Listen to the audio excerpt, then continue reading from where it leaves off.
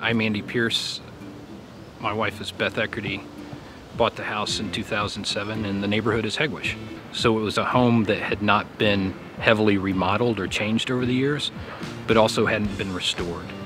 So you had layers of carpet, layers of linoleum, all those things that bungalows get over the years. And our goal was to put it back as best as, it, as we could. The project was everything, walls and floors and light fixtures. The previous owners, the family that built it and had lived in it for decades, they had never painted over the wood, but they had also not taped it off. So there was a lot of paint slopped on the nice oak, uh, red oak trim.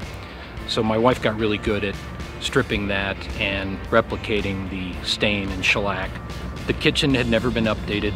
It had never had cabinets, so it was just a sink and a stove and a refrigerator. So we got what cabinets were available during the pandemic and made the best kitchen we could for that space. I think the present trend is that everyone likes to take down wallpaper and we went right into that. Okay, we're gonna take down all this heavy vinyl wallpaper. Well, we found problems underneath, right? Big cracks that had just been maybe hastily filled up and then covered with wallpaper. So I learned how to plaster and open up those cracks and fix them. And my wife really liked the vintage, say 40s, 50s, 60s, something vanity that's in it. So I took it apart, scraped off all the rust, primed and painted it and put it back together. The back stairs, it was one of the grungiest, ugliest places. Mudroom, service area that had never been remodeled. So we took up all the layers of linoleum there and found Douglas fir underneath.